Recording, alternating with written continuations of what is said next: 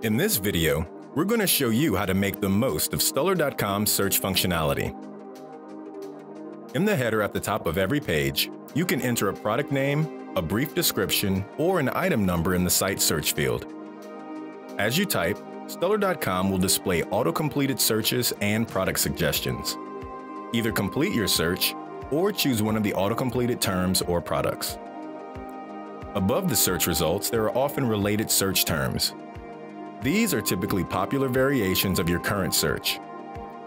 Next, you'll see the search results.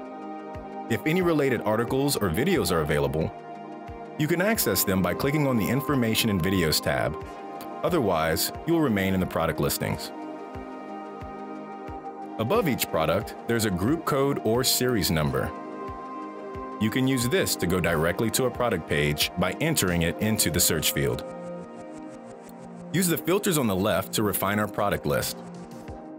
You can apply as many filters as you need, and if you ever want to remove a filter, you can click the red X next to the active filters here or here in the breadcrumb. Lastly, you can reorder your results by using the sort feature, and at this point, you've optimized your search.